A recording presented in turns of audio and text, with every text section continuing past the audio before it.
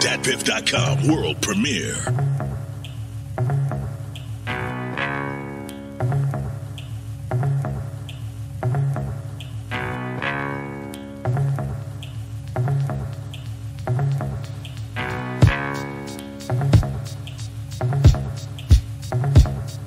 Wear my shirt over my belt cause I told two nines. You wear your belt over your shirt just to show you fly. You tough when you on drugs and it shows you lie. So when you talk that tough shit, we all know you high. I'm from an era where the little niggas tote two fives. And if your man make 10, he gotta throw you five.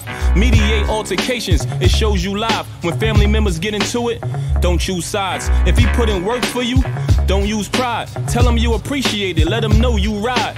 When the drama get lit, go through slides. You better show your fucking face. Don't you hide. Put some money in his pocket. Don't you cry. You gotta take care of him. That's your go-to guy.